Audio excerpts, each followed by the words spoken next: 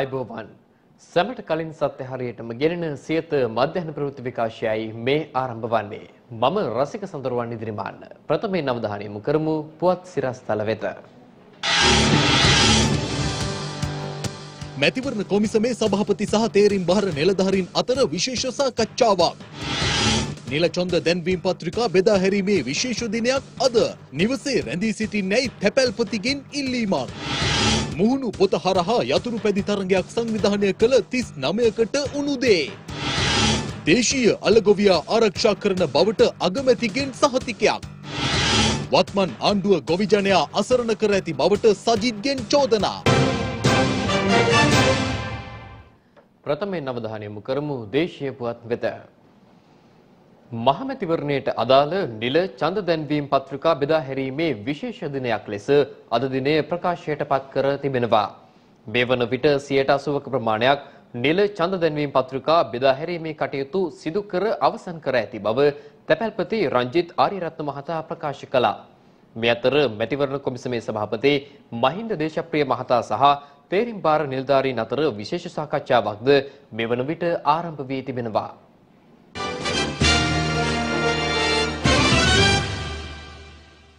විශේෂ දිනයක් ලෙස සලකා අද දිනේදී මහමැතිවරණයට අදාළ නිල ඡන්ද දැන්වීම් පත්‍රිකා බෙදා හැරීමේ කටයුතු සිදු කරන බවයි තැපැල්පති රංජිත් ආරියරත්න මහතා ප්‍රකාශ කළේ. නිල ඡන්ද දැන්වීම් පත්‍රිකා බෙදා හැරීමේ කටයුතු අපි පහුගිය 13 වෙනිදා ආරම්භ කරා. ඒ මේ 29 වෙනිදාන් අවසන් වෙනවා. අද දවස විශේෂිත බෙදීම් දවසක් විදිහට ඉරිදා දවසේ බෙදීම් කටයුතු සිදු කරනවා. මේ වෙනකොට අපි 80කට ආසන්න ප්‍රමාණය බෙදා හැරීම අවසන් කර තිබෙනවා. විශ්වාස කරනවා ඉදිරි දින තුන තුළ මේ බෙදා හැරීම කටයුතු 95 ඉක්ම වූ ප්‍රමාණයක් නිම කරන්න පුළුවන් වෙයි කියලා විශ්වාස කරනවා. ඒ වගේම කාට හරි 29 වෙනිදාන් පසුවත් නොලැබුණොත් තමන්ගේ ලියුම් බෙදීම් කරන තැපැල් කාර්යාලයට පැමිණ ලබා ගැනීම හැකියාව තියෙනවා තමන්ට අදාළ නිදචම් දැන්වීම් පත්‍රිකා. එමෙන්ම සිය නිවෙස් තුළම සිට ස්වයං නිරෝධායනයට ලක්වෙමින් සිටින පුද්ගලයින්ට සහ ඔවුන්ගේ පවුල්වල සමාජිකින්ට එළඹෙන මහමැතිවරණය සඳහා ඡන්ද විමසීමට අදාළව මේ මාස 31 වනදා ඡන්දය භාවිත කිරීමට කටයුතු සකස් කර ඇති බවයි මැතිවරණ කොමිෂන් සභාව ප්‍රකාශ කළේ. එසේම නිරෝධායන මධ්‍යස්ථාන තුළදී නිරෝධායන ක්‍රියාවලියට යටත්ව සිටින පුද්ගලයින්ටද මේ මාස 31 වනදා සිය ඡන්දය භාවිත කිරීමට හැකියාව පවතිනවා. මේ අතර මැතිවරණ නීති නීති කඩකිරීම සම්බන්ධයෙන් අපේක්ෂකයින් 6 දෙනෙකු අත්අඩංගුවට ගෙන ඇති අතර ඒ අතරින් අපේක්ෂකයින් දෙදෙනෙකු රක්ෂිත බන්ධනාගාරගත කර ඇති බවයි මැතිවරණ කටයුතු බහර ජ්‍යෙෂ්ඨ නියෝජ්‍ය පොලිස්පති ප්‍රියන්ත වීරසූරිය මහතා ප්‍රකාශ කළේ. මැතිවරණ නීති උල්ලංඝනය කරමින් රාජකාරී කටයුතු වල නිරත වූ නිලධාරීන් 7 දෙනෙකු සඳහාද මේ වන විට විනය ක්‍රියාමාර්ග ගෙන තිබෙනවා. එසේම මැතිවරණ නීති උල්ලංඝනය කිරීම සම්බන්ධයෙන් පැමිණිලි 259ක් වාර්තා වී ඇති අතර අත්අඩංගුවට ගැනීම 300ක් සිදු කර ඇති බවයි මැතිවරණ කටයුතු බහර ජ්‍යෙෂ්ඨ නියෝජ්‍ය පොලිස්පති ප්‍රියන්ත වීරසූරිය මහතා සඳහන් කළේ. මේ අතර මැතිවරණ කොමිසම සහ දිස්ත්‍රික් තේරීම් බහර නිලධාරීවරුන් මෙන්ම දිස්ත්‍රික්කයේ නියෝජ්‍ය සහකාර මැතිවරණ කොමසාරිස්වරු අතර විශේෂ සාකච්ඡාවක් අද දින පැවැත්වෙනවා. ඒ රාජගිරිය පිහිටි මැතිවරණ මහලේකම් කාර්යාලයේදී. එමෙන්ම හෙට දිනේදීද මැතිවරණයට අදාළව දේශපාලන පක්ෂ ලේකම්වරුන් සහ මැතිවරණ කොමිසම අතර සාකච්ඡාවක් පැවැත්වීමට නියමිතයි. එහිදී මැතිවරණයට අදාළ ඉදිරි කටයුතු පිළිබඳව සාකච්ඡා කිරීමට නියමිත බවයි එහි නියෝජිතයෙකු අප වෙත සඳහන් කළේ. ෆේස්බුක් ඔස්සේ නීති විරෝධීව යතුරු පැදි තරගයක් සංවිධානය කළ පුද්ගලයින් පිරිසක් පොලිස් අත්අඩංගුවට ගෙන තිබෙනවා. ඔවුන් සතු තිබී යතුරු පැදි 24ක්ද පොලිස් භාරයට ගත් බවයි පොලිසිය සඳහන් කළේ. ෆේස්බුක් ඔස්සේ නීති විරෝධීව යතුරු පැදි තරගයක් සංවිධානය කළ පුද්ගලයන් 39 දෙනෙකු පොලිසිය විසින් අත්අඩංගුවට ගෙන තිබෙනවා. ඔවුන් සතුව තිබී යතුරු පැදි විසි හතරක් පොලිස් භාරයට ගෙන ඇති බවයි පිළියන්දර පොලිස් ස්ථානාධීපතිවරයා අප කළ විමසීමකදී ප්‍රකාශ කළේ.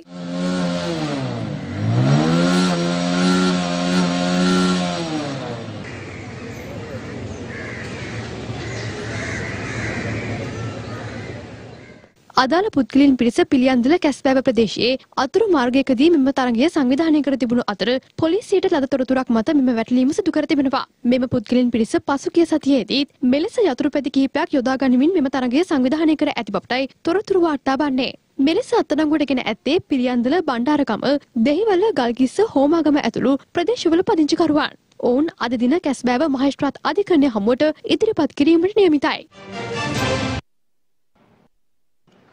මෙරට COVID-19 වෛරසය ආසාදිතයින් 6 දෙනෙකු ගත වූ පැය 24 තුළ වාර්තා වීමත් සමග මෙරට සමස්ත ආසාදිතයින්ගේ සංඛ්‍යාව 2770ක් දක්වා ඉහළ ගියා. සමස්ත ආසාදිතයින් අතරින් පුද්ගලයන් 2103 දෙනෙකු සුවය ලබා ඇති බවයි වසංගත රෝග විද්‍යා ඒකකය සඳහන් කළේ.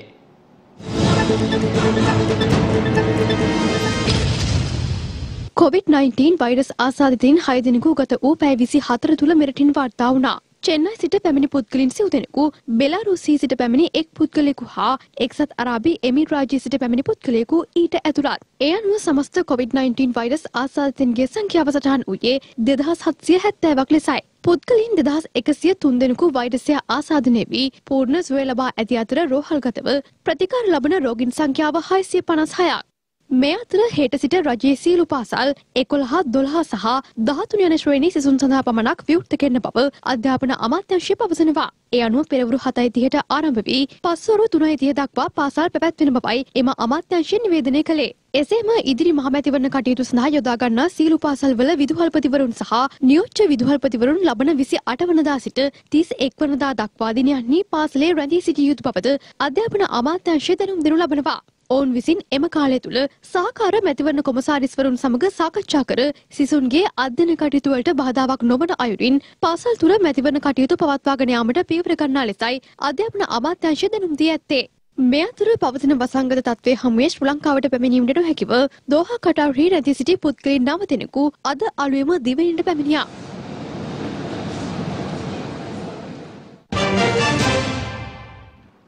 රක්ෂිත බන්ධනාගාරගත කර සිටි මේගමුව බන්ධනාගාරයේ ජේලවරයා බූස් බන්ධනාගාරයට මාරු කර තිබෙනවා. වරෙන්තු නිකුත් කර තිබූ ඔහු පසුගේ විසි හතර වනදා අපරාධ පරීක්ෂණ දෙපාර්තමේන්තුවට භාර වී තිබුණා. සිදු කළ ප්‍රශ්න කිරීම් වලින් අනතුරුව අපරාධ පරීක්ෂණ දෙපාර්තමේන්තුව විසින් ඔහු ඊයේ දින මීගමුව මහේස්ත්‍රාත් අධිකරණයට ඉදිරිපත් කළා. ඒ අනුව ඔහු ලබන විසි නම්වනදා දක්වා රක්ෂිත බන්ධනාගාර ගත කිරීමටයි මහේස්ත්‍රාත්වරයා නියෝග කළේ. එසේම අධිකරණ නියෝග මත අදාළ ජේලරවරයා බූස්ස බන්ධනාගාරයට මාරු කරය වූ බවයි බන්ධනාගාර පරිපාලන කොමසාරිස් චන්දන ඒකනායක මහතා අප කළ විමසීමකදී සඳහන් කළේ. මේ අතර මීගමුව බන්ධනාගාරය තුළට හෙරොයින් ඇතුළු තහනම් ද්‍රව්‍ය තාපයට ඉහළින් විසිකළ පුද්ගලින් හත් දෙනෙකු ඊයේ දින අත්අඩංගුවට ගෙනුණා. එහිදී අත්අඩංගුවටගත් වෘක්ෂාන් තිලංග නම් 31 හැවිරිදි සැකකරු මෙම සිද්ධියේ ප්‍රධාන ජාවාරම්කරු බවයි පොලිසිය ප්‍රකාශ කළේ. අත්අඩංගුවටගත් එම පිරිස අතරට කාන්තාවන් දෙදෙනෙකුද ඇතුළත්. සැකකරුවන් අද මේගමුව මහේස්ත්‍රාත් අධිකරණය වෙත ඉදිරිපත් කළ බවයි පොලිසිය ප්‍රකාශ කළේ. මේ අතර බන්ධනාගාරය තුළට තාප්පයට ඉහලින් මෙලෙස හෙරොයින් ඇතුළු තහනම් ද්‍රව්‍ය කලක සිට හුවමාරු කිරීමක් සිදුව ඇති අතර මෙය කල්ලි කිහිපයක ක්‍රියාවක් බවටද පත්ව ඇති බවයි පොලිසිය මේ වන විට තොරතුරු අනාවරණය කරගෙන ඇත්තේ. ශ්‍රී ලංකා පොදුජන පෙරමුණේ ජය තහවුරු කිරීම සඳහා පැවැත්වෙන ජනහමු මාලාවේ තවත් ජනහමු කිහිපයක් ජනාධිපති ගෝඨාභය රාජපක්ෂ මහතාගේ සහභාගීත්වයෙන් මාතර දිස්ත්‍රික්කයේ කේන්ද්‍ර කර ගනිමින් අද පැවැත්වුණා.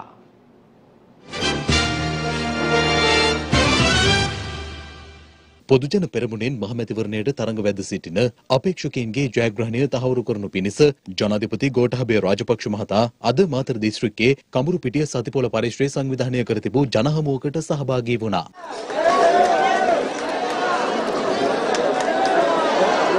එහි සිටින ජනතාවගෙන් ජනාධිපතිවරයාට හිමි වූයේ උණුසුම් පිළිගැනීමක්.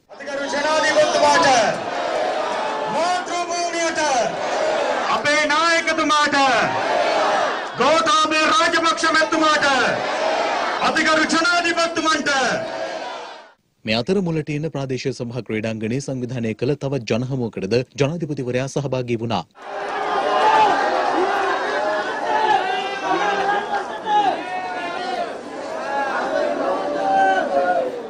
එමෙන්ම හක්මන පස්කොඩ ඌරුබොක්ක මහජන ක්‍රීඩාංගණයේ පැවති ජනහමුවකටද ජනාධිපතිවරයා සහභාගී වූ අතර එහි සිටි ජනතාවගෙන්ද ජනාධිපතිවරයාට හිමි වූයේ උණුසුම් පිළිගැනීමක්.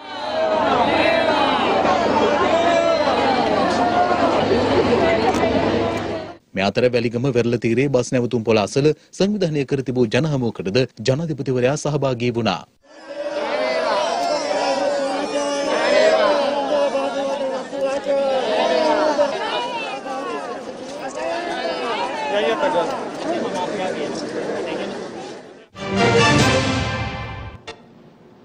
දේශීය අලගොවියා ආරක්ෂා කිරීමට තමන් කටයුතු කරන බව අග්‍රාමාත්‍ය මහින්ද රාජපක්ෂ මහතා පවසනවා. අග්‍රාමාත්‍යවරයා වැඩිදුරටත් ප්‍රකාශ කළේ ඉදිරියේදී අර්ථාපල් ආනයනය නතර කිරීමට කටයුතු කරන බවයි. ඒ වැලිමඩ ප්‍රදේශයේ පැවති ජන හමුවකට එක්වෙමින්.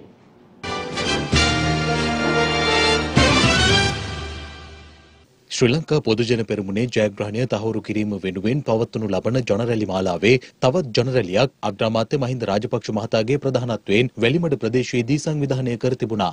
පසුගිය කාලේ ජනාධිපතිවරයා වෙන පක්ෂකත් අගමැතිවරයා ඇතුළු කැබිනට් මණ්ඩලයේ තව පක්ෂකත් ඉන්නකොට රනිල් වික්‍රමසිංහ මහත්තයා කියපු දේවල් මෛත්‍රීපාල සිරිසේන ඇම ජනාධිපතිතුමා කරේ නෑ. මෛත්‍රීපාල ජනාධිපතිවරයා කියපු දේවල් රනිල් වික්‍රමසිංහ කරේ නෑ. මේ නිසා දෙගොල්ලෝ අතර ගැටුම පටන් ගත්තා. ඒක තුලින් ඇති වුණේ මොකක්ද ඒ විරසකය නිසා. ජනතාවට ගිය අවුරුදු පහේදී වැඩක් කෙරුන්නේ නෑ. එක්සත් ජාතිපක්ෂයට ඕන නෑ වැඩ කරන්න. අපි වරායක් හැදුවා, ගුවන්තොට පොලක් හැදුවා, වරාය වික්කා.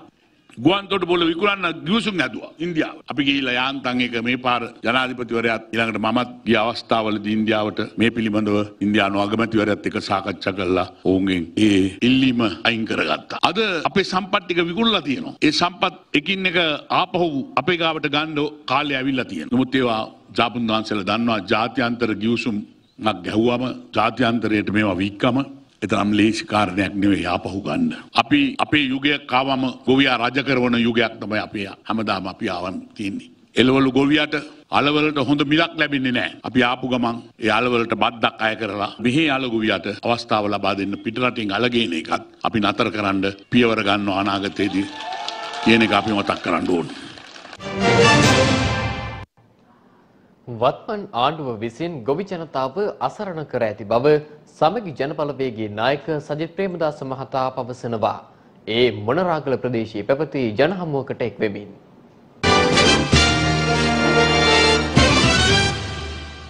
සමගී ජනබලවේගේ ජයග්‍රහණය වෙනුවෙන් පවත්වනු ලබන ජනරැලි මාලාවේ තවත් ජනරැලියක් සමගී ජනබලවේගේ නායක සජිත් ප්‍රේමදාස මහතාගේ ප්‍රධානත්වයෙන් මොනරාගල ප්‍රදේශයේදී සංවිධානය කර තිබුණා.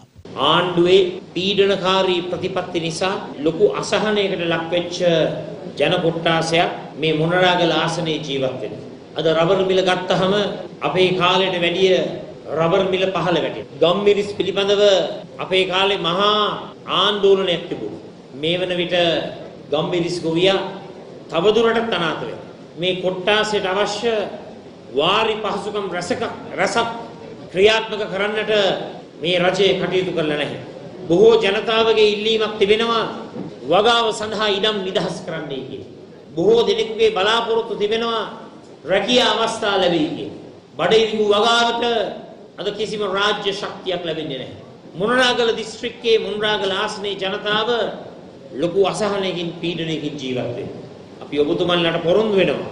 එළඹෙන මැතිවරණයේදී දුරකථනයේ ජයග්‍රහණයත් සමග සමගි ජන බලවේගයේ ජයග්‍රහණයත් සමග ජනතාවගේ දුක හඳුනන පොදු ජන ආණ්ඩුවක් අපි බිහි කරනවාමයි කියන එක මම මේ අවස්ථාවේ තමුන්නාන්සලට ප්‍රකාශ කරන්න රට ගොඩනැගීමට සැලසුම් නොමැති වත්මන් ආණ්ඩුව පරාජය කිරීමට කටයුතු කළ යුතු බව එක්සත් ජාතික පක්ෂ නායක හිටපු අග්‍රාමාත්‍ය රනිල් වික්‍රමසිංහ මහතා පවසනවා. ඒ මහතා මේ බව ප්‍රකාශ කළේ රුවන්වැල්ල ප්‍රදේශයේ පැවති ජනහමුවකට එක් වෙමින්.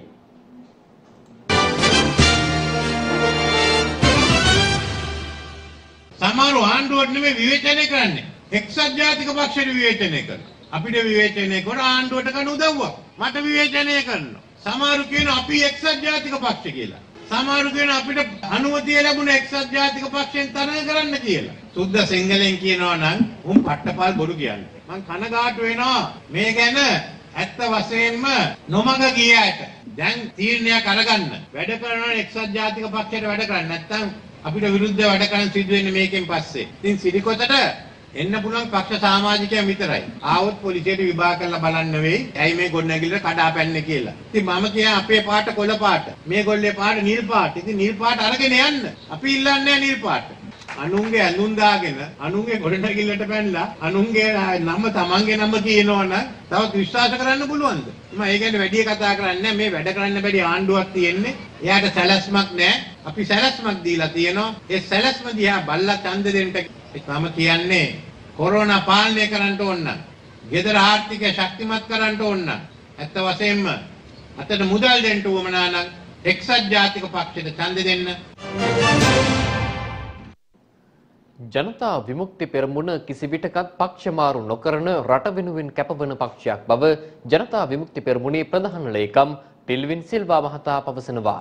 ගාල්ල ප්‍රදේශයේ පැවති ජනහමුවකට එක් වෙමින් ඒ මහතා මේ බව පැවසුවා.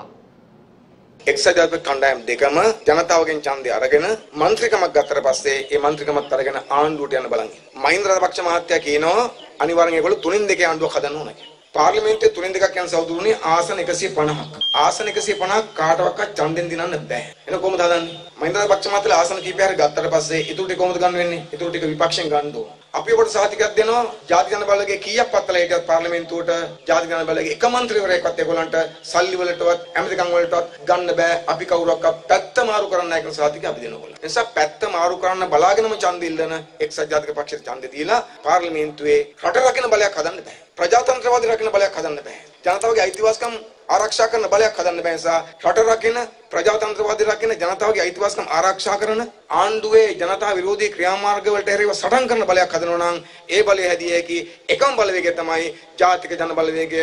අපි එක්සත් ජාතික පක්ෂ මහතුන්ටත් ඉල්ලීමක් කරනවා. එන්න අපිත් එක්ක අත්අල් බඳ ගමු. අපි පාර්ලිමේන්තුවේ විකිනෙන්නේ නැති පැතිමාරු කරන නැති ශක්තිමත් බලයක් හදමු. එළපෙන පාර්ලිමේන්තු මහමැතිවරණය සම්බන්ධයෙන් දේශපාලන වේදිකාවේ පළ වූ අදහස් කිහිපයක් දැන්. දෙදස් පහේදී මුළු රටම අපි පළ දින 189 ඊය අවුරුද්දේ රත්නපුර දිස්ත්‍රික්කයේ අපි පළ දින 189 ලක්ෂ 13 මාන මුළු රටම දිනන්න තිබ්බ මැතිවරණේ යාපනයේ දිස්ත්‍රික්කේ සන්දායිතිය නැති කරලා අපි දිනන්න නයින් මහත්තයාට දිනන්න තිබිච්ච අවස්ථාව නැතුව ගියා. ආවට ගියාට ඇවිල්ලා කතා කරලා ගියාට එතුමාගේ දැක්ම හොඳ වුණාට අපිට විපක්ෂයේ ඉඳගෙන ඕගොල්ලෝ ආරක්ෂා කරන්න බෑ. අපිට විපක්ෂයක් පේන තෙක්මානයකවත් මම මට අහන්න ලැබුණා රනිල් වික්‍රමසිංහ මහත්තයා අග්‍රාමාත්‍යතුමා කියනවා සජාතික පක්ෂයේ ඔවුන්ගෙන් හැර ගිය අයට. මම හිතන්නේ මේ ටෙලිෆෝන් එකේ අයට අවවාදයක් දෙනවා. කරුණාකරලා ඉක්මනින් නැවතත් සජාතික පක්ෂයට එන්න. එහෙම නැත්නම් විනය ක්‍රියාමාර්ග ගන්නවා දඬුවම් දෙනවා කියලා. මම හිතන්නේ ප්‍රමාද වැඩි. සජාතික පක්ෂ දඬුවම් දෙන්න කණ්ඩායමක් ඉතුරු වෙලා තියෙනවද දන්නේ නැහැ. ඉතින් ඒ නිසා අපිට පේනවා කොයි දිස්ත්‍රික්කේ ගත්තත් අද උගත් බුද්ධිමත් උදවිය සියලු දෙනා ඉවත් කරලා අර කියපු ගණේ අර අස්සෙවි බූරෝයි කියපු ගණේ දෙවෙනි කණ්ඩායම තමයි පොදු ජන සන්ධානයේ බැසිල් රාජපක්ෂ මහත්තයාම කියන තේරීම් කමිටුවෙන් සමාජිකයා තෝරලා තියෙන කියලා පැහැදිලිවම කියන්න ඕන. වරාය විකුණන්න, මත්තල ගුවන්තරවල විකුණන්න, දූපත් විකුණන්න, නැගෙනහිර ජැටිය විකුණන්න, සෝෆා ගිවිසුම ගහන්න, MCC එක ගහන්න, සාකච්ඡා ආරම්භ කරේ ඔවුන්ගේ කාලේ. මේගොල්ලෝ දික් කරන් යනවා. ඇක්ස ගැහුවේ ඒගොල්ලන්ගේ කාලේ. දික් කරයි. ඒගොල්ලෝ මේක කරන්නේ. ඇයි?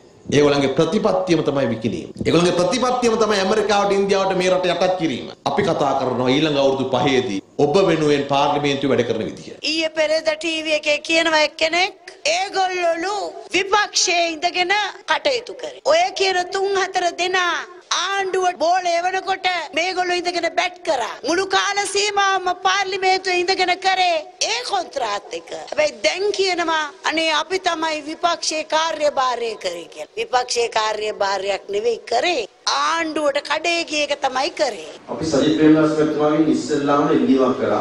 ඔබතුමා නියත වශයෙන් මේ රටේ අගමැතිවරයාට පත් වෙනවා. 20 24 වෙනකොට අනිවාර්යයෙන්ම ඔබතුමා මේ රටේ ජනාධිපති වෙනවා. ඒ ගමන අපි යනකොට 1977 ජයාජයවර්ධන මහත්මයා කරපු ආකාරයට අපිත් එක්ක බැඳිලා ඉන්න මේ ගමන යන සමගි තරුණ බලවේගයේ ඉන්න විශේෂයෙන්ම ආරම්භක සමාජිකයන්ට අපි යම්කිසි අවස්ථාවක් ලබා දෙන්න පැරණි දේශපාලනඥයොත් ඉතා හොඳින් වැඩ කරපු අය ඉන්නවා. දේශපාලනඥයෝ කරපු ව්‍යාපාර මොනවද? දේශපාලනඥයෝ කරපු අකටයුතුකම් මොනවද? දේශපාලනඥයෝ දීපු ගේම් මොනවද? ගහපු ඩීල් මොනවද?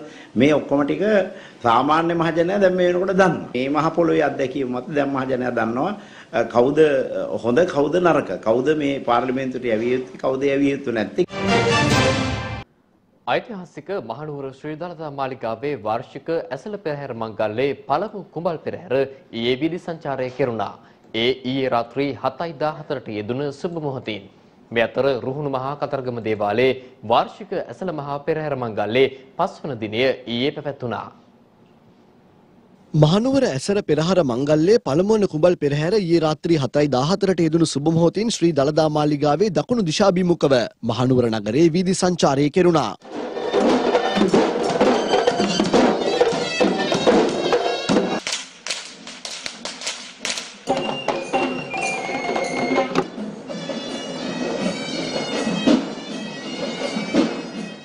මෙවර පෙරහර මංගල්‍යයේ මහජන සහභාගිත්වයෙන් තොර වූද සාම්ප්‍රදායික චාරිත්‍රානුකූලවලට මුල් තැන දෙමින් විචිත්‍රවත් ලෙස පැවැත්වුණා.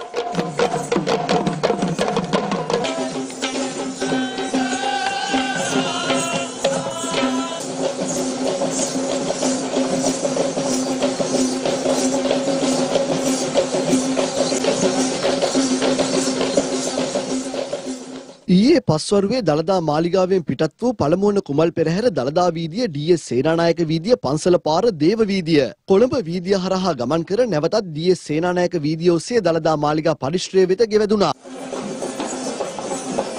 මේ අතර රුහුණු මහා කතරගම දේවාලයේ වාර්ෂික ඇසල මංගල්‍යයේ පස්වන දිනටත් ඊයේ යෙදී තිබුණා.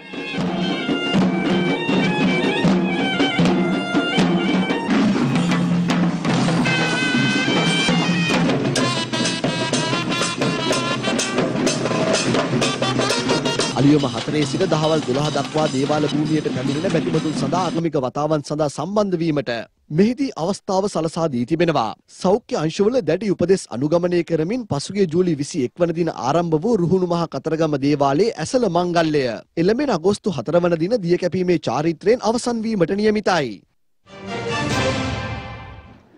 ඒත් සමගින් සියත මධ්‍යහන ප්‍රවෘත්ති විකාශය අවසන්. අපි යළි හමුවන්නේ සවස 6ට අපගේ ප්‍රධාන පුවත් විකාශයත් සමග. ඔබට සුබ දවසක්. දිනපතා අලුත් වීඩියෝ සහ ප්‍රවෘත්ති නැරඹීමට ඉහත බටන එක ක්ලික් කර සියත TV සබස්ක්‍රයිබ් කරන්න.